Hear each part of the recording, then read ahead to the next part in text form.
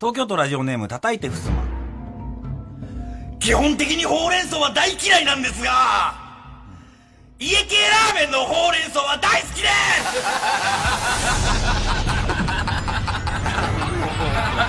シュシュ星のキラボディ。こんばんはシュシティの浅田です。金子学です。えー、2020年1月4日水曜日この時間は僕たち後ろシティがお送りしていきます。家系が好きなんだろ家系が好きなんだろうな。家系の味がいっぱい染み込んでるから好きなんだろまあ、あれうま染みてうまいんだよな、家系ラーメンって上にこうチー油鶏の油が浮いてるわけよ、うそれがさもう吸いまくってさ。だってご飯食うスープじゃん。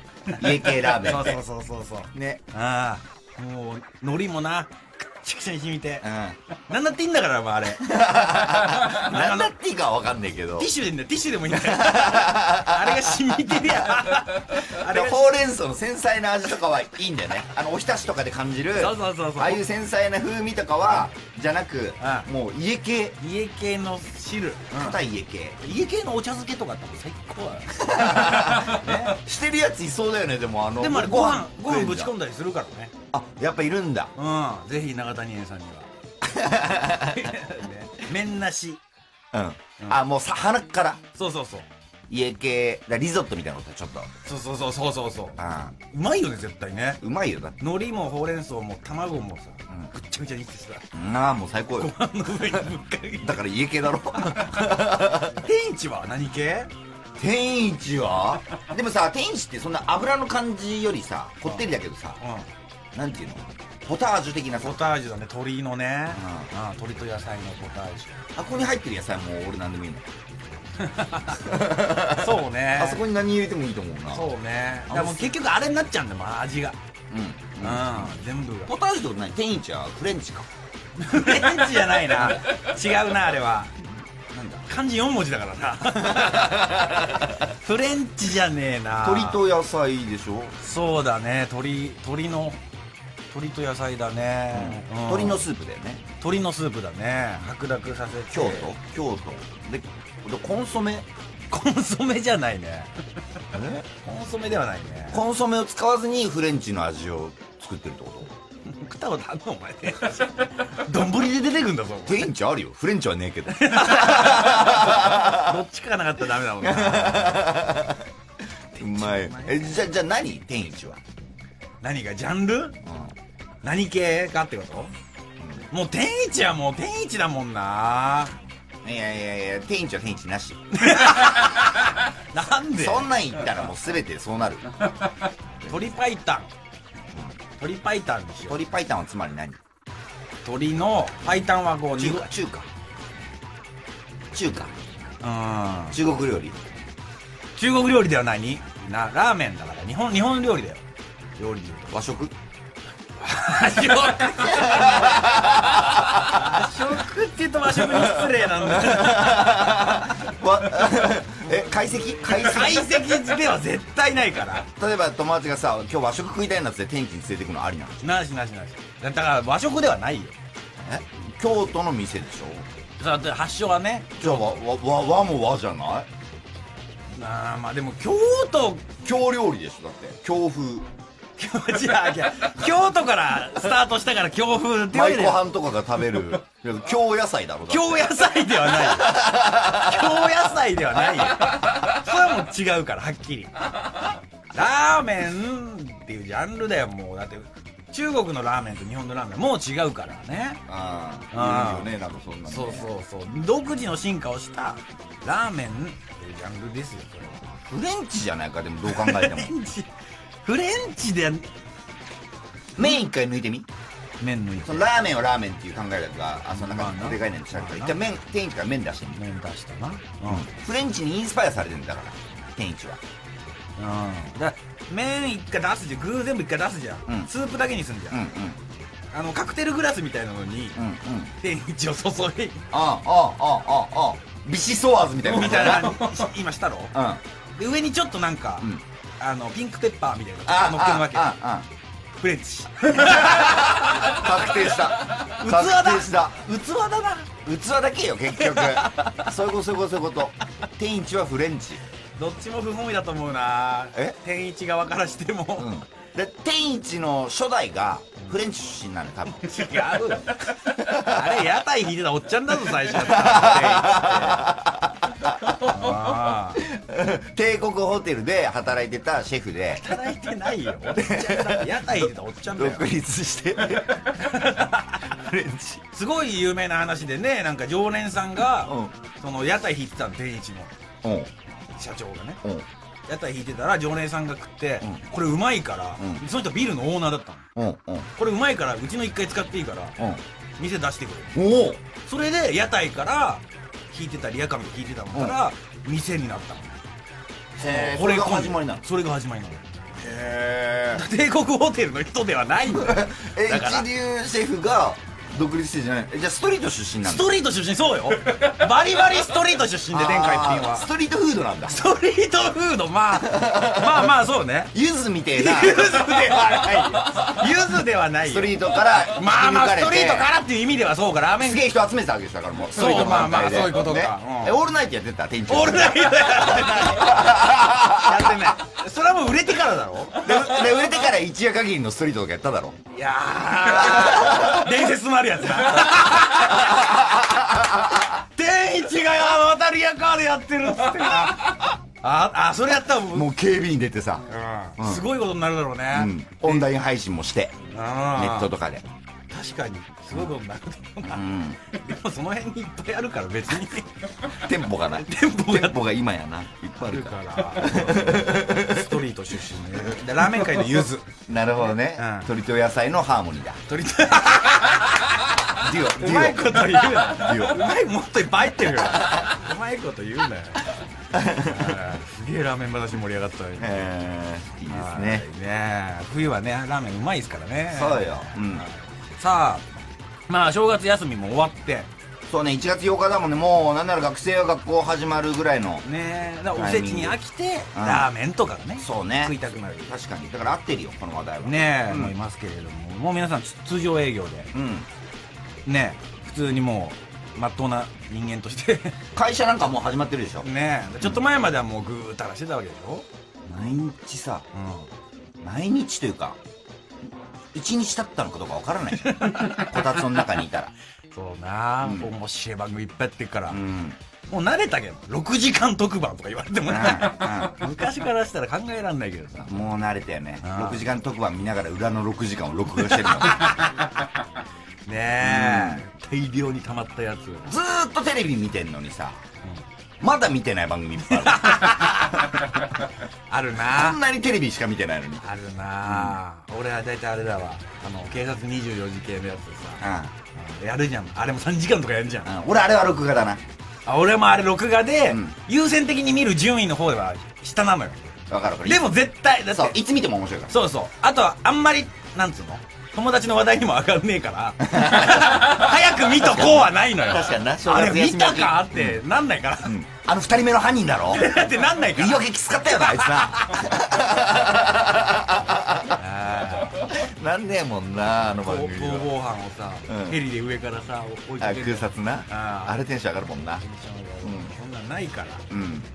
だからまあそういうのはどんどん溜まってってね、うん。2月末ぐらいに見たりすんだそうな。そうな。もうずっとテレビ見てる。あったなこれみたいな、うん。うん。ずっとテレビ見ながらみかん食ってさ。ねえ。クラスのボスが何見てるかっていうのが大事よね。学生からしたらな。あいつに合わせていかないと。遅れちゃうから。うん。うん。あいつだって爆笑ヒットパレードの話したら爆笑ヒットパレード見てないやつはもう無理なわけだから。うん、人間じゃないとされるうん。やっぱり、年末もそうよ。だってガキツか紅白何でもいいけどあいつがサスケのスペシャル見てたからそうそうそうそう。サスケ見とかないと。泣いたよねサスケとか言われたら。それに泣きましたよ。泣きましたよ。警察24時見てたらセンスあるよねボスが。あ確かに。多分そいつボスに慣れてねえと思う。そのセンスでは。そいつがボスになることはないと思う。なるほどな、うん。まあまあね。テレビ見て。ぐうたらな。楽しかったでしょうねさぞ。ね、うん。で今はもう地獄でしょうねさぞねもえ。うもうよ。こっから真人間に戻ったんだから。うん。そりゃ苦しいよそれは。そうよ。ねえ。急にはさ動き出せないじゃない人って。あー。ねまだリハビリが欲しいよなそのさ、うんうんうん、正月抜きをしなきゃいけないわけ。そうそうそうそう。正月中毒になってるから今。すげえ。な、うん、そうそう麻薬みたいな言い方してそうるそうそう。ほんと一回抜かないとどっかそういう施設に入って。そうだよね。いきなり用意どんで動き出せないじゃん。みんなで頑張りましょうって、ねうんうん。みんなで今日一日頑張りましょうっていうそののがないとやっぱり。そうだ。抜けないから、うんうん。またぐーたらしちゃうから。そうそうそうそう。そうね変ですよ本当皆様えもうだみん今は地獄だとうん。ねえ。みんなもどっかでリセットしなきゃいけない時期ですよ今。でも我々はん。まだシャキッとしてます、そう我々はその皆さんとはちょっと違いますね。はい。目キラキラしてますもん。そうですね。もういつでも動ける状態。そう、はい。関節とかね腰とか痛くなってないし、ん。寝すぎて、うん。これなぜかというと、うん。まだ正月休みを取ってないからです。そう。はい。これがねあのどういうことだ？とはい。あめちゃめちゃ忙しくて、うん。もう正月またいでまだ仕事してて、うん。こっから休みに入るのかなと。そういう説もあるじゃん、そういう人もいるじゃん、うんきっと。そういう人もいる違います。うん。単純に今日2019年の12月29日です。そうです。そうなんです、はい。開けてもいい収録なので。ねはい。開けてもいいねんです、はい。だから我々はこっからだらけます。そう最高今最高の お前らは今最悪だろうけお前の最悪のもう2020年を迎えてるだろうけど。どいや最悪、うん。よ俺らまだ前だから。うん。ああ。最高よ。ああもうだらけるぞ。腕まくりしてもうだらけるぞ。よーし。最高っすよね。頭ガンガンする前に寝てやるんだよ あの痛みがいいんだよな。だから、はい。でも逆にこれ収録なんで、この年始早々朝に不祥事とかあったらこれこの放送オクラになっちゃうんですよ。なんで明日はにって限定するの？いやほら明日は誰でもそうよ。誰でもそうなんだけど明日はほら特にあの詐欺まがいのビジネスに手を染めてるっていう噂がほら有名じゃないですか。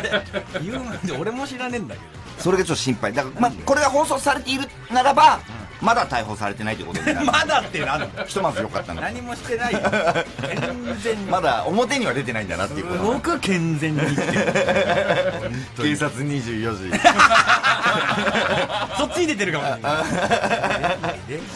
裏かぶりあるからあっち流れたらこっち出る、うん。そういえばあのー年始一発目の放送でね、2020年の目標を立てるって話してましたけども、ああしてたね。うん、結局決めないで終わってる。んああ、ね。そうだ。そうだ。決めるって言っといて。やっとかないと目標って。そうね。達成できたできないにせよ、2020年の目標。うん、目標を立ててない1年の始まりって嫌だから。そうだね、うん。ゴールがないとね。そう。ななあそんな先週何て言ってた？なんかなんかソイ醤油をいっぱい食べたいだけ？言ってねえよ。それでもいいんだけどなんか言う他のもうちょっと。言ってねえって俺そんななんか一気に100個食いたいみたいな。話してたけどさ。どんなやつだよ。もうちょっともうちょっとなんかグッとしたさ。何そのベタな夢じゃないだろ。それ。それ正直いっぱい食いたいよなっていう。ないだろ。先週それ言ってたけどさ豆でできたヘルシーな。もうちょっらソイ醤油ってさだってまずいっぱい食うもんじゃないんだよ。知ってるよ。あの小腹が空いてでも食べる時間ないとかにね。しかもあとカロリーが気になるとかそういう時にちょっと人一本で満たされるもんだから。まあまあそうだろ。あれいっぱい食いたいっていうのは本当バカの発想だから。もう言ってね。えんだよ俺ソイジョイなんて人生で23回しか食ったことないんじゃないかな俺。だからなんかその遅れを取り戻したいみたいなこと先週言ってたけど 格好つけんなよその23本しか食ってないみたいなさソイジョイ食ってないわ。かっこよくねえんだ。よ 俺あんまソイジョイ食ったことないんだよね。さっきも食ってたしな。食ってねえわ。両手に持ってきたじゃん違う大好きだ白飯とソイジョイ家系じゃんもう。家系の食い方してるそうだ。な家系ソイジョイだね。でソイジョイって何？何なのソイジョイなんだろうなソイジョイって。はいということで後ろシティ星のギガボディ今夜も最後までお付き合いください。ではここで1曲。 andymori で「Weapons of Mass Destruction」お送りした曲は andymori で「Weapons of Mass Destruction」でした。結局さそのソイジョイっていうのは、ん。何？あのフレンチ？うーんフレンチ。後ろ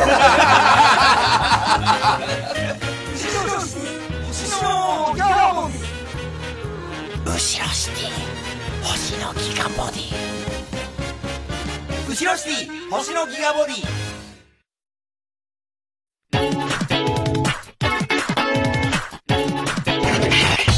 赤坂の TBS ィやってます。後ろシティ星のギガボディ後ろシティの阿諏訪泰義です。金子学です。えこの時間は後ろシティ星のギガボディをお送りしています。ソイジョイソイジョイもいいんですけどソイジョイ、もうこんだけソイジョイって言ってるとみんな食いたくなってるでしょうね。ソイジョイぱソイジョイってでもさ言われて食いたくなる。食べ物かな。ソイジョイの口になってる。なるのかな。さっき天一とか家系とかわかるよ。あ言われたの食いたくなってきたわって。夜だし。うん。夜にさソイジョイの話題出てあソイジョイ食いてってなるかな。ソイジョイの口になって、もう言わないでってなってる。なるかな。もしれないですけど。まあその話もいいんですけど結局ね今年の目標まあ立ててないわけですよ。は、あ、はいはいはい、そうだ。ねなんかプライベートなり仕事なりね、うん。立てていかなきゃいけないと思うんですけど、うん、うん。あのー、俺さあのー、まだこれあのさっきも言ったんですけど2019年の収録なんで、うん。僕らこっから正月休み取るじゃないですか、うん、でこの間も言ってたけどさ、うん、あのー、阿諏訪正月無人島行くでしょ、うん、で俺正月台湾行くって言ってたじゃん、うんその台湾がさ怪しくなってきてんのよ。うん？何が？その俺4日から6日の間行こうと思ってたの。うん、4、5、6。うん、でそれで5人ぐらいね、うん。グループで、うん。グループラインで、うん。こんぐらいでい行こうみたいな。うん。行こう行こうみたいになってたのね、うん。で後輩とかもさそれで行きたい行きたいっつってなってて、うん。そしたらさみんなまだスケジュールがぼやけてたのよ。まあね、正月なんか、急あの急に入ったりするもんね。そう。でそれ確定してきて。うん。あなんか4日しか行けなくなりましたみたいあなやつがいて4、5、6ってなると、やっぱ合わせづらいか。そうでも台湾初めて行くしうん。その台北っていうまあメインのさうん。中心都市うん。行ったりあとうん。その9分っていうさうん。その千と千尋の神隠しのさうん。そこまで移動とかせ9分で1日過ごした方がいいって言われててうん。だから台北で1日過ごして夜市とかも行ってで次の日9分に行ってって考えたら2泊は絶対欲しいなとう思った。初めて行くしうん。だから4だけ行けますの、ちょっと意味が分かんなくて。意味はわかるだろう。それはスケジュールの。いや、5、6入ったってことじゃん、そいつは。仕事が入ったってことだろうな。うん。あの、もう、箱根でもさ、箱根でも 4, 4だけはさ、あ 日帰りっていうことか。うんななんで、いや、行けなくなりましたでいいじゃんと思ったの、最初。うん5、6入っちゃって行けなくなりましたで。うん。うん。うん。4、なんか行きたいんだよね、だから多分。行きたいんだ。だようん。日帰りでも。だから4だけになっちゃいましたっうん。てなって、なんでこいつ4だけ行くんだろうと思って、まだ来ようとしてんのか、こいつと。そうそうそう。で、厳しいだろうなってそれは思ってて。うん。でそしたら他のやつも、あのー、5の夕方から、うん。で、60に帰ってこれれば大丈夫です。5の夕方から60。で、5の夕方に出たら5の夜に着くじゃん。そうね。行ってで3時間ぐらいかかるからさ。夕飯食って、そ次の日、まあ、う。きついよ。い1日半ぐらいきつそうそうそういね。そう。5、6もきついよ。2泊やっぱしたいよって話してて。一人ね、うんあの、5日仕事入っちゃってう、ん。4と6はいけますっていうやつがいて、あいや、4と6いけますはいけないんだよ。なんでお前一回帰んだよって。台湾行って一回日本帰ってまた台湾来んだよ。その金も金子俺が出出すんだらバカらしいと思って。あで、だからどうしようと思って。で、だ今まだちょっと、他にもまだ声かけてるから、うん。あれなんだけど、でね、今年の目標って話になったじゃん。ん。ちょっとやめようと思って、こういうの。はなんかね、俺今だから、その後輩にね、声かけてダメだから、他の後輩とか聞いたりさ、してるじゃん。うん。でも後輩もおじさんよ、言ったら、うん。みんな。そうな。30超えた。そうね？なうん若手芸人喋ってると異常だもんな。そう。32ぐらいで若っつってるもんな。そう。異常だよ ほんとそうなの。金子はいくつ？38でしょ。もう次9かそう。だからさ40だもうねおじさんがおじさん誘ってさ、うんスケジュール合わなくてなんだよって言ってるのが気持ち悪いなと思ってきただんだん。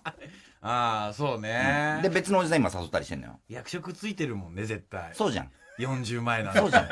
普通の会社とかで仕事終わりに上司が後輩連れて飲みに行くとかさ、うんそれは芸人の世界でもあるけどさ、うんそういうのはいいじゃん。そ,、そうねの日限りの。うんうん正月にさ、全員結婚してないんだぜ。うん でも予定が開けられないそう。うんだからおじさんを誘うしかないみたいなさ。で、おじさんが予定合わなくてちょっと、どうすんだよみたいな、もやもやするみたいなさ。気持ち悪いじゃん。うんそうなで、まあ、気持ち悪くてもいいと思うの。芸人だから。うんまあまあまあいいと思うよ変でもいいと思うんだよ。だからそういう、そういう関係性って全然芸人独特だし、うんありだと思うんだけど、全然ね、芸人の世界的にはね。はいでも俺は耐えられないと思ってる なんで？俺はもう耐えられない。なんで？急だなうん。やっぱ、いや、なんかふと思ったんだよね。こんなにおじさんのスケジュールを練り合わせて、で、おじさんのお金を出して、うんおじさんがお。じさんがおじさんのお金出してたなね。うん同時、で、一人で行くとさ、ちょっと怖いじゃん。し、行ったことある国ならまだいいのよ、海外でも。うん初めて行く国だから、そのドキドキをみんなと共有したいと思ってたんだけど、おじさんがおじさんとドキドキを共有するってもう気持ち悪いじゃん。う んまあお前が、お前が集めたおじさんなんだけどなそう。そうなの。俺が集めてんの、おじおさんを。前が多いって言ったおじさんでしょ？そう、そう。俺セレクトのおじさんたちなんだけど、で、芸人の先輩ってみんなそうじゃん。うん、うん売れてる先輩もそうするじゃん、大体。まあそうねおじさんを集めてさ、旅行に行くじゃん。だからあれ、ありだと思う。でも本当に俺は耐えれない。もう。でもやめるっていうこと？もうなんかちょっとそういう気持ち悪いのやめようと思って。どうどういうことよそれ？どうすんのよ、だから、結局なんでこうなってるかというと、俺が独身だからなのよ。うん結婚してたら絶対奥さんと行くのよ。なるほどで、結婚してる先輩は結婚してる後輩の、あの奥さんと、うん、だから、みんなで家族ぐるみの付き合いで行く。それは気持ち悪くないじゃん。そうななんかあの真人間な感じがそうそうそうそうす。るね今のおじさんがおじんさんを誘うことのステップアップなわけよ。うんうんうん俺も結婚して後輩も結婚すればうんう、んね、家族ぐるみで行くならさうんうんうんそのお金出すのなんか幸せな感じもするし。確かにそうだねそう。だから俺今年の目標は結婚にしようと思って。はあ、うん。あ結婚はちょっと年齢的にもねそうそうそうそうそう。絶対した方がいいけど、うん。そのおじさんと旅行行くのが嫌だから結婚するっていう。そのいや、そこはちょっと違う気がするよ俺は。それは例えばさ、相手が見つかってさ、プロポーズするときに言わないよ。俺もおじさんと旅行に行くのが嫌だから、あの、結婚してくださいとか、パカッと開けないよ。そうな、うん。喜んでくれないだろうな、うん。私なんかその変な謎のリスクヘッジで結婚するのみたいな、しないよ。でそういう目標はいいかなと思って。まあね。うん。あ今年目標立てれば、今年かまあ来年ぐらいには、どうだ？どうなんだ？なんか目標立てたからってすぐってわけにもいかないじゃん。ーでも付き合ってる人がいるわけでもないしとか言うじゃんそれもあるよね交際ゼロ日みたいなのあるんじゃん去年なんか特にさ、うん2019年なんか特にね、芸人の人そう先輩方の結婚多かったそうかよ最後にバカリさんまでら。ねあったかえ。ら、ね2020年一発目、うん。うん。一発目でもあんまさすがにまだ無理かもしれない。最後の大物 お笑い界最後の大物スピード婚、うん、バンバーンで山里亮太からうん。来て、うん。あと若林さんうん。が来て、うん。うん。バカリさん。後ろしていかねえかでも、今年のいい夫婦の日に間に合うようにさ、あー頑張っていけばばいいよね。そうねうん。ああいいじゃん。っていう俺は壮大なでも DV するじゃん。金子って何 それはでもラジオで言っちゃってっからさ ?DV するって俺言っちゃったっけ？ラジオでも言っちゃってっから ?DV してんの俺。それやばいなえ、俺、D- 待って、まず俺 DV するの うん。だから38まで未婚のわけはやっぱそれでしょ？ああ、今までの彼女にも全部 DV をしてきたから、松竹の繰り返。なんか名誉だな、ちょっと。なんかちょっと名誉だけどな。なんか、殺していい？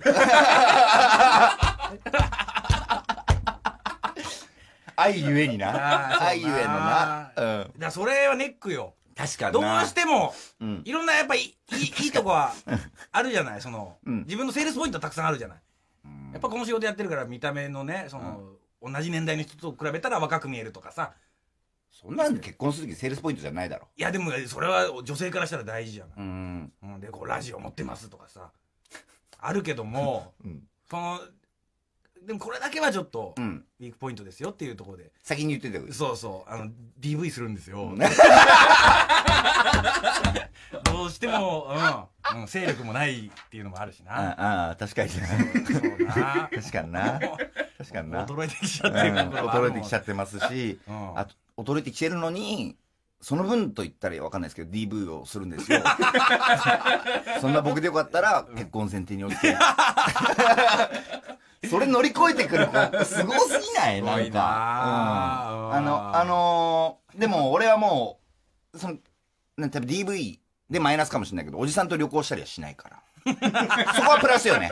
彼女にとって、あ、この人はおじさんと旅行しない？それプラスかなそれプラスなのかな果たして。へーって。で、それで DV を巻き返せないと思うんだけどな。で、DV をしないわ。DV しない。俺もう DV しないよ。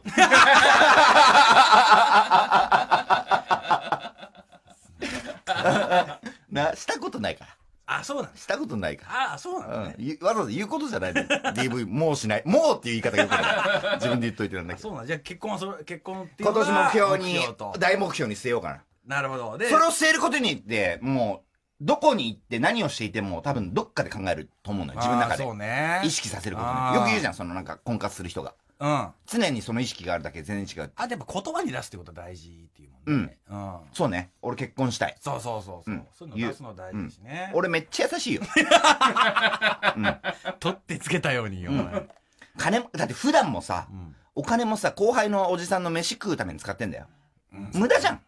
そうなやっぱ俺無駄だって思ったの。だったら愛するそう、そうなのよ。人にそうなの。ああ。うん。そりゃそうよ。だからいくらでも使うよっていう思ってる。いくらでも金使うよ、なんと言っても面白いでしょ、俺。今のすごい面白くないんだけど。大丈夫かなこの人。面白い人面白いって言わないよあんまり。俺はでもその目標でいこうかなと。なるほど。で来年の正月には家族、そう。ね。夫婦と後輩の夫婦ととかと行くっていうそうそう。か、先輩の夫婦に連れてってもらうとかねなるほどなるほど。健全ですね、うんはいあそうは俺ね、あのーまあいろいろ考えたけども、このこの収録してるのはまだ2019年のはい末なんだけど、はい今年ね2019年の最後のうん。「アナザースカイうん。が、うん俺のすごい仲のいいキャンプ仲間のひろしさんだったのよ、うん。うん。うん。俺も見たわ。すっごい仲良くてさ、こんもう毎週のようにさ一緒にキャンプ、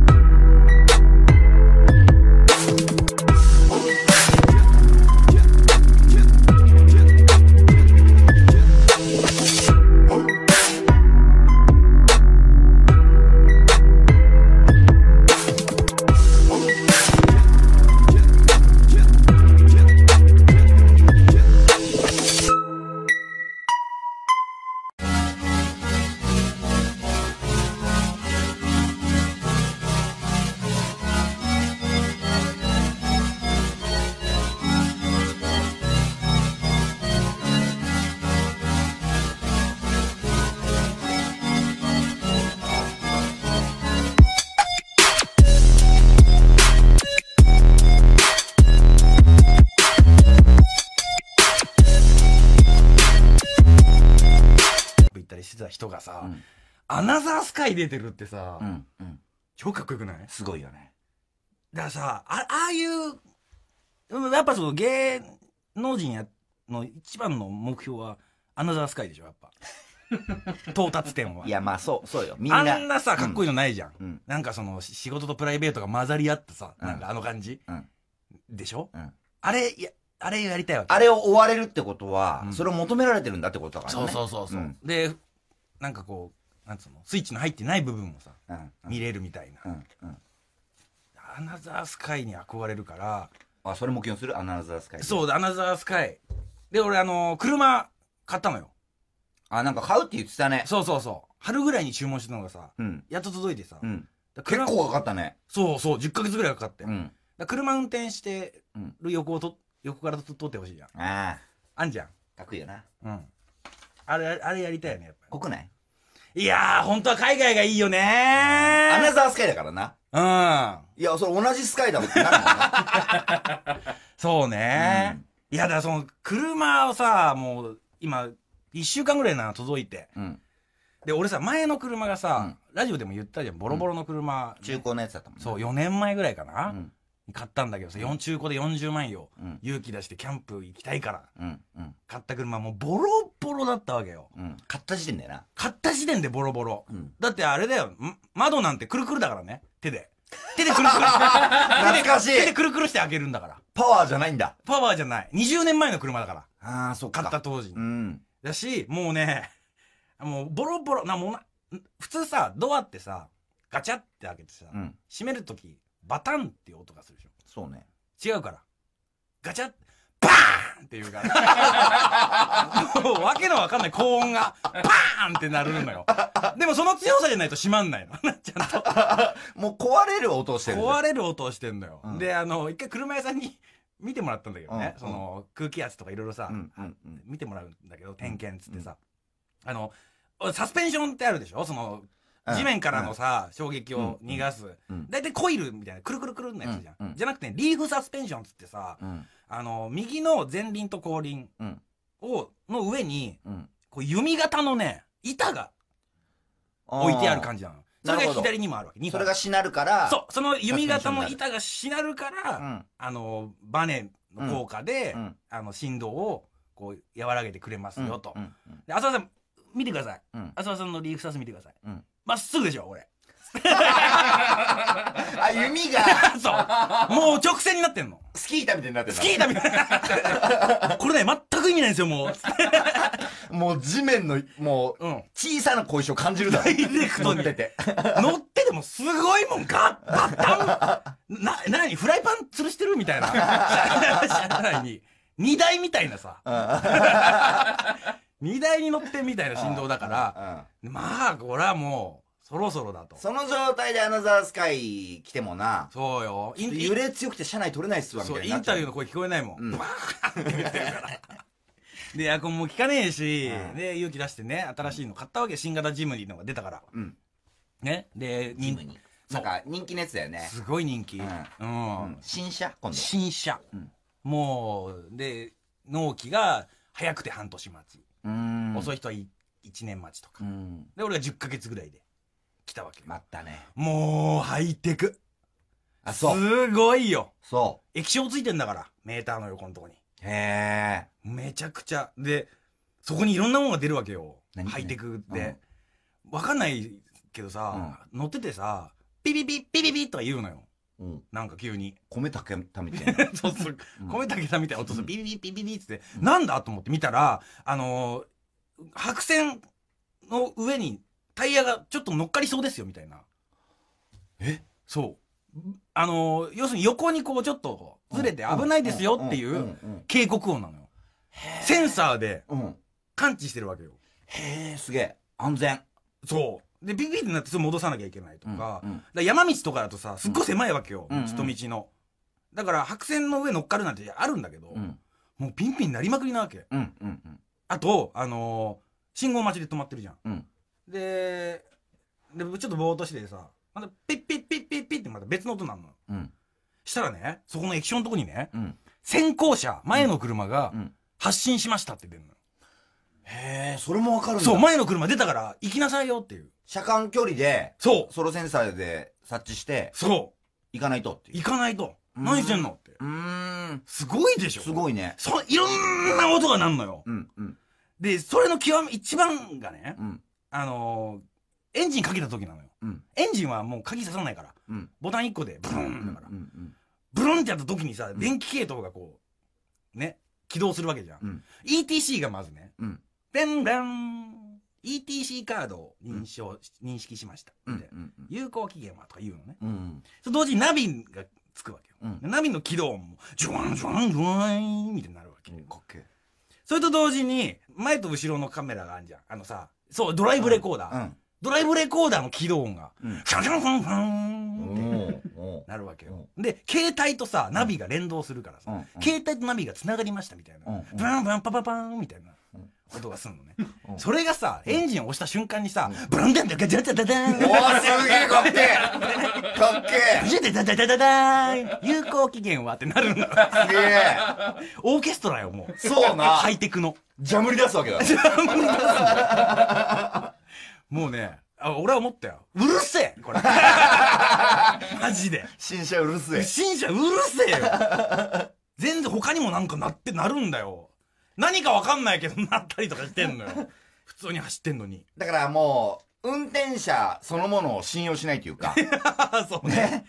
それだけ安全にやってくれてるわけよね。うん。どんなに気抜いてても大丈夫ですよっていう。そうね。あうん。でもさ、うん。アナザースカイってそもそもさ、ーうん。なんていうの成功した人のさ二面性じゃん。そうね。もう一つの裏側とかそういうこと、うんそういうことね。成功してないのに出れんの？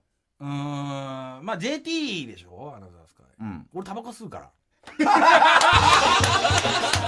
何？え芸人で裏側キャンプとかで出るんじゃなくてヘビースモーカー裏側キャンパーみたいなあそうそうそうそう。その一点で行くの？職業ヘビースモーカ気になるけど。ヘビースモーカーのアナザースカイ。すげえ気になるけど逆に。ー貴様そうだな。後ろシティ。星のギガボディ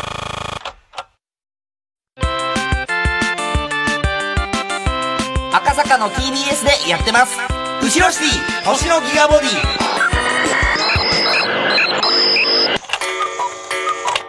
後ろシティの朝は大義です。金子学です。えー、この時間は後ろシティ星のギガボディをお送りしておりはいます。。メール来ております。はいえっ、と、東京都ラジオネーム白っぽい車。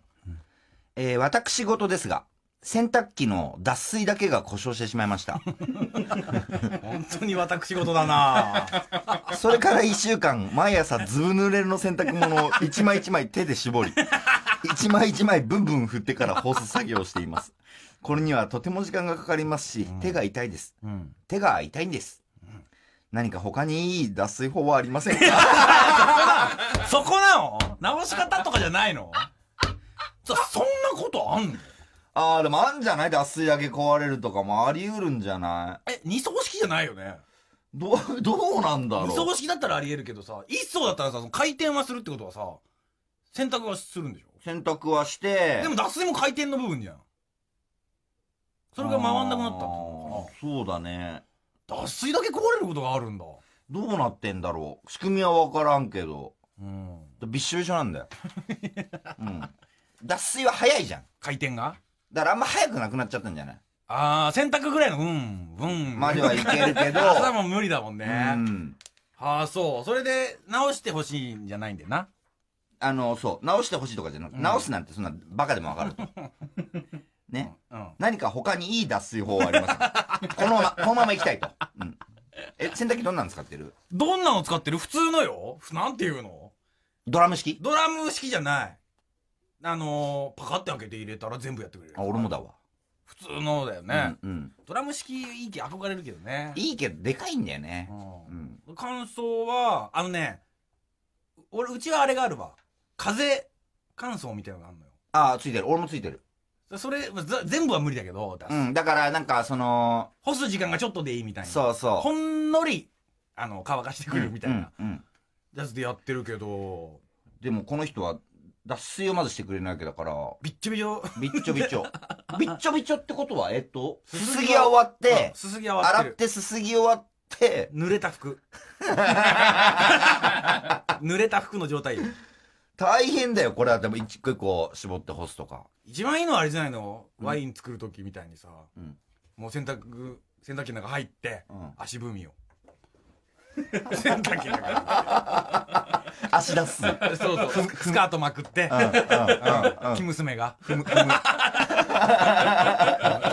何人か入れたらいいけどな。何人も入れない。歌歌いながらさ。楽しそうだけど。楽しそうだけどさ。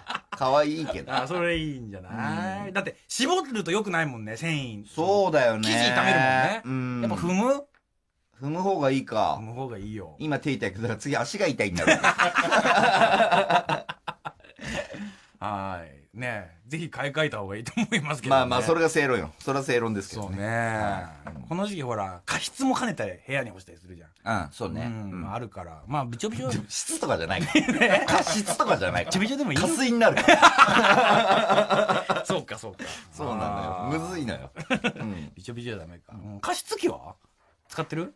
加湿器は使ってない。えっと、あのー、えっと、空気清浄機はあるけど、加湿器は使ってない。加湿器なくていける。いける。でも、お風呂には、あのー、少しだけ水張る。寝るとき。え、なんで？そしたらだって乾燥しないじゃん。お風呂に、ホテルとかと一緒よ。あ、近いんだ。寝るとこと。そうそうそうそうそうそう。で、そこからと、戸も開けてるから。お湯？うん、あの、水。あ、水でいけるんだ。水でいいへえ。えー、おかりも来てます。はいえー富山県ラジオネーム、スコティッシュホルダー。うんえー以前お二人は、コース料理に出てくるパンをいつ食べればいいのかとお話ししていましたが、うん。あのパンはいつ食べ、いつでも食べて大丈夫なのです。うん正確にはアントレ、うん。かっこ前菜、ああ。からフォマージュ、かっこチーズなどの乳製品うんまでとされています。そうなの？その間ならいつ食べてもいい。うんまた、パンでお皿をきれいにすることはソースまで美味しいということを表す一種の賛辞なのです。そして食事中に楽しくお話しすることが良しとされています。うんというのが、マダムの教えです。ま 誰まだ誰？お前の近くにいるマダム誰？え、パンを食べていいのはどこからどこまでだっけアントレからフォマージュ、えっと、前菜からチーズなどの乳製品までの間。どう、な、間何個あんのよ？それ決まりがあんだろ？その前、アントレの次いきなりチーズ来たら終わりだもんな。で終わりってこと？うんカンカンカンカンってチーズ。でも最後ってことないじゃん、フォマージュが。チーズだから。肉とかの前には来るでしょ。え、前菜が来て、その後、何が来んだ？前菜。スープ？スープの前になんか来ない？サラダみたいなの来ない？それは前菜か。どう？前菜の前になんかあんのか？なんか先付けみたいなのあるよな、なんか。お通しみたいな。もやし炒めたやつ。で、で、スープは来るよね。で、メイン、メインなんて結構後じゃん、なんか。なんかさ、メインの前にさ、一回これがメインなのかなってがっかりする時あさるじゃん。魚みたいに来るよね。うんその後にさ、口直しみたいなの来ない？ジュレ。シャーベットみたいな。わかんねえ。シャーベット来てメイン。チーズっていつ来んの？チーズなんて来たっけ？ルールを教えてくれよ。チーズなんて来た？うん。ソースが、だソースをつけて食ってもいいってことは、うん。ソース系のやつはなんか一個来んだよ。来るよね、来るよね。アントレの後に。デザートの前か、チーズか。あ、肉とか食ってチーズ？じゃあずっと食っていいんだ、パンは。っそっか。じゃあ全タレにつけていいんだ。ていうことだね。あうーん。いや、そうそう、いつ食っていいか分かんないし、うんいっぱい食っちゃうってことだよね、おかわりー。そう。なんかうめえから。自由だからね。そうそあったけえしう。。うん。ああの、間が良くないよね。だから。間が空くじゃん、コース料理ってあ。。そあれがさ、お上品な人向けのペースだからさう。う。ん。こっちはもう、飯食いってんじゃん、ちゃんと。うん、そ腹減って言ってっからう。う。ん。あの合間待てねえからパン食うみたいなとこもあるじゃん。だ そうな、それはあるな、からソースも実際美味しいからさ、パンが止まんないのよ。そうね。どのソースにつけてもうまいんだもん。拭って食っちゃうもんね。うんあで家系につけたらさ、あ。ずっとその話してんじゃん。家系ってどこで出てくるっけ？えっと、あん、え？ーっと、コースに家系出てこない。出てこねえよでもこれだから、要はフレンチは家系ってことじゃん。この発想でいくと、本当に。ああ、ああ、ああ。ねうん。だパン、パンがご飯になるだけだから、パン出てこねえよ。家系では。だからご飯になってるだけじゃん。ごご飯を、だから、あの、スープで食ってんだからさ。ご飯で脱ぐってこと最後？そう。それが一番この、この店のスープがうまかったっていう惨事になるわけ。そんなやつ見たことねえよ。米で丼拭ってると 米の代わりよ。なるほどな、パンがああ。フレンチではパンうんをね、うん食うけど、それをご飯に変えたんだよね。そのままやっても面白くないから。ななんでそんなにさ、家系をフレンチにしたいの、すごい力説してるけど。俺いいもん食ってるぞって思った。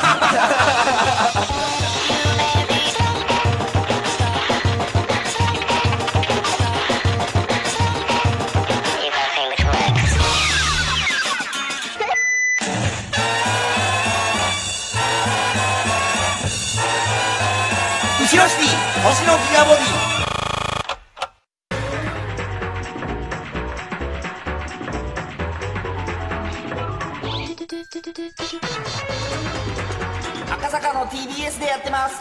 後ろシティ、星のギガボディ。なあなあ何？君の耳の穴に指入れたいんだけどどうかな？うん、別にいいけど。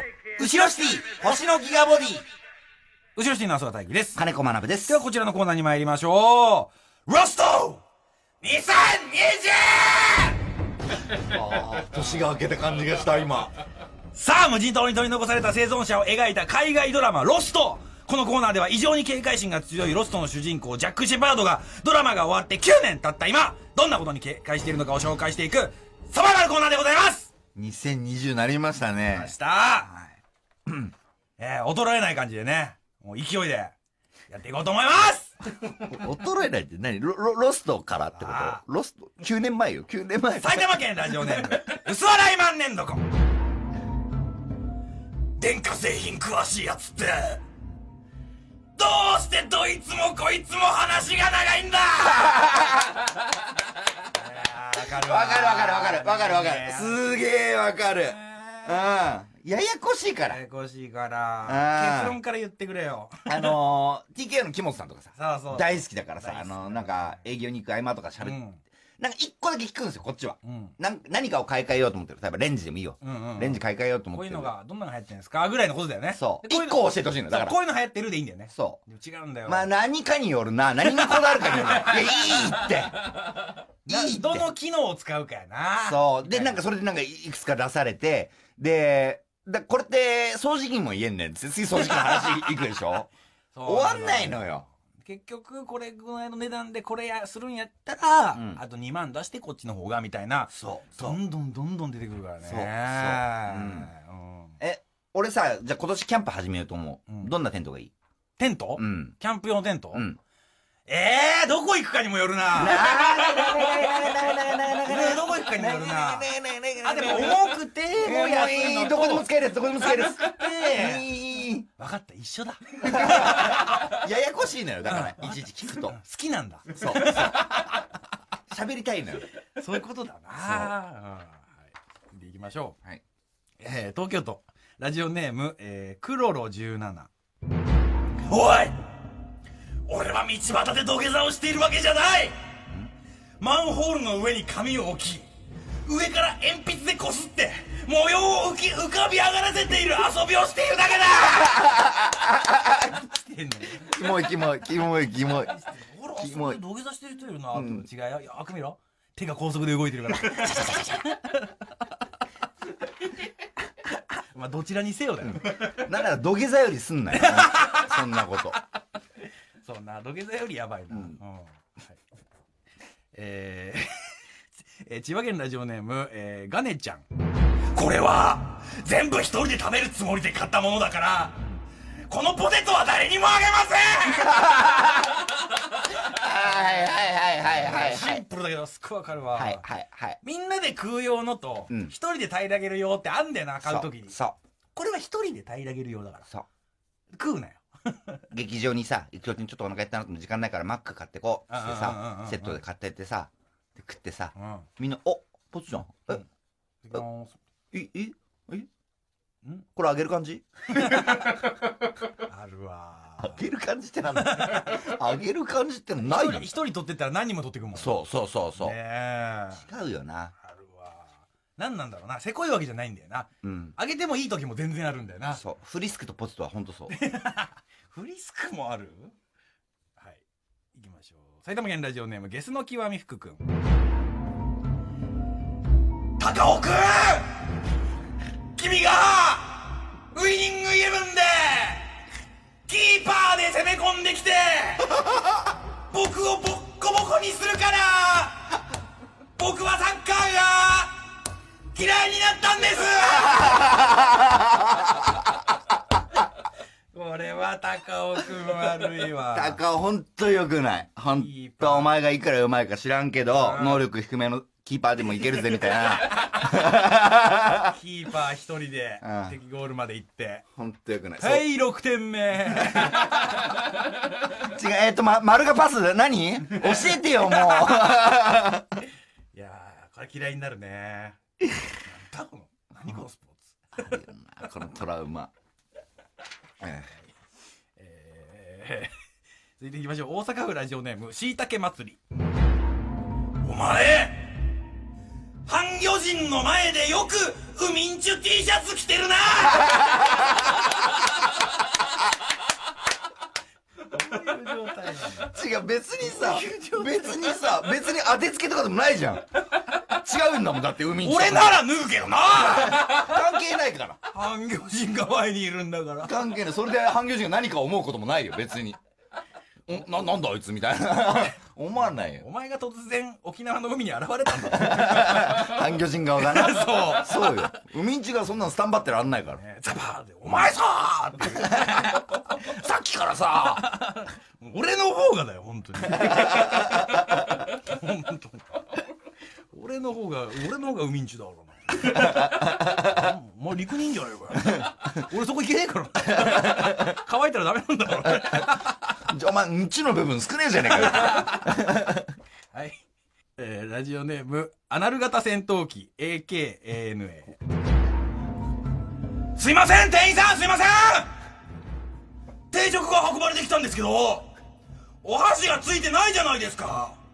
え？テーブルのここのところが棚になってるんですって？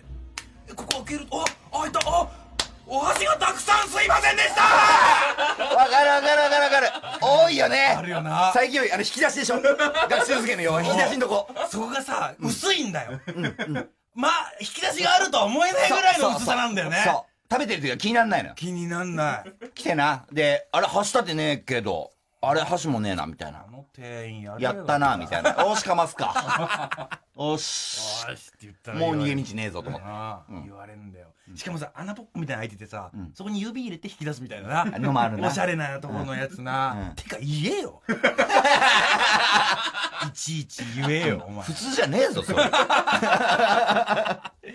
はい、ということで、引き続きロスの主人公、ジャックが何に警戒しているのかを送ってください。はい。受付メールアドレスは、ギガアットマーク TBS.CO.JP、ギガアットマーク TBS.CO.JP、すべて小文字で GIGA でギガです。メールの件名にロストと書いて送るな。送ってね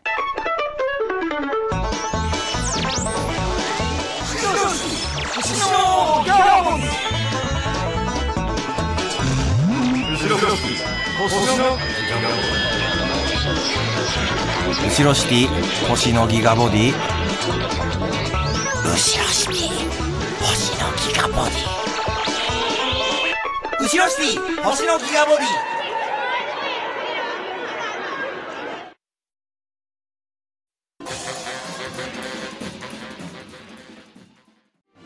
あ、ということで、後ろシティ、星のギガボディ、そろそろお別れの時間でございます。はい。皆様はね、あの、オープニングでも言いましたけども、通常営業で、我々はこれから休みます。ね、皆さん頑張ってくださここから戦場に赴くい。ね、皆さんと。ね、ね。休む我々と。羨ましいだろうと。だけ言っておきますね。ね。あとすいませんね。目標は、えっ、と、今年の目標は、金子は結婚。結婚私、明日はアナザースカイと。さあ、果たして1年後どうなってる年内到達お互いどうなんかな？そうなあむずいかもな。俺はでもアナザースカイそのフィンランド去年ほら世界一になってるからさうんうん。北米タイムの世界選手権。うん。アナザー側は用意してんのよ。あそっか。スカイは。アナザーの方あるわ。あとは日本側のスカイを用意させれば俺はもういけるから。主たるもんがな。そうそう。どっちがないからな。でも俺の方がタバコ吸うからな。その一点突破なんなんだよ。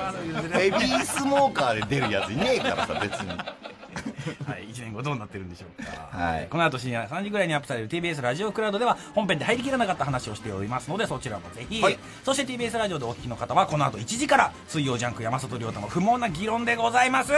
ここまでの相手は後ろシティのアスワ大義と金子学でした